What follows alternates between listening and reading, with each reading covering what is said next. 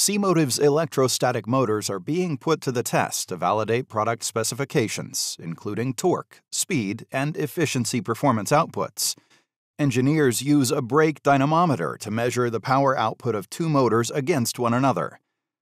On one side, a permanent magnet motor spins at 1400 RPM, with a gearbox reducing the speed to 200 RPM, while a C-Motive machine applies torque to the spinning shaft in the opposite direction, and a sensor between the two collects data.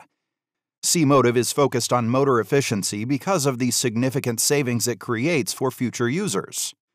With increased machine efficiency, electrostatic motors save users more the longer they're in use, granting users machine payback in one to two years. C-Motive's team is currently developing demonstration units for testing with early adopters. Ideal candidates have applications including, but not limited to, material conveyance, industrial automation, and or high-volume or low-speed fans. Send an email to info at cmotive.com to see if your application is a good fit.